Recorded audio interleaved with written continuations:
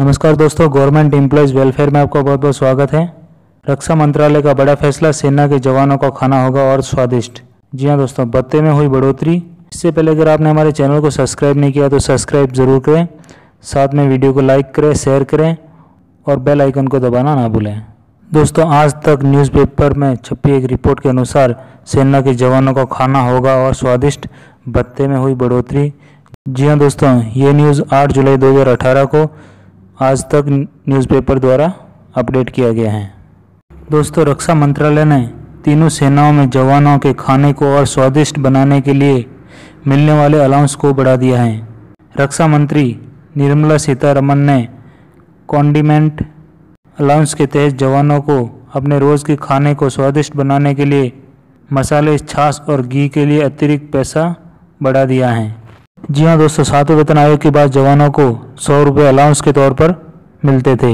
लेकिन लागू होने के बाद वास्तव में एट्टी नाइन रुपये ही मिल पा रहे थे। ऐसे में जब यह मामला रक्षा मंत्री निर्मला सीतारमन के सामने आया तो उन्होंने तीनों सेनाओं की बैठक बुलाई और जवानों को मिलने वाले इस अलाउंस को बढ़ाकर एक सौ उन्नीस रुपये हर महीने करने का फैसला किया। इससे पहले सेना के जवानों की वर्दी को लेकर भी असमंजस की स्थिति पैदा हो गई थी।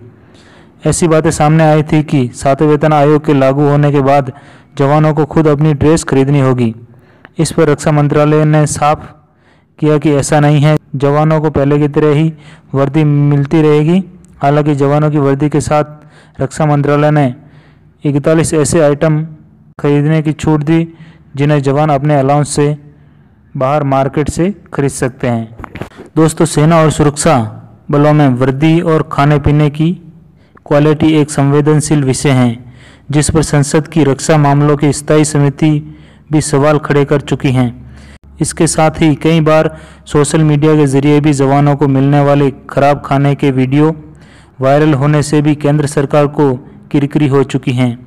ऐसे में रक्षा मंत्री श्री निर्मला सीतारमन ने समय रहते ही तीनों सेनाओं के जवानों के रोज़मर्रा के खान पान से जुड़े इस मुद्दे को हल कर दिया है।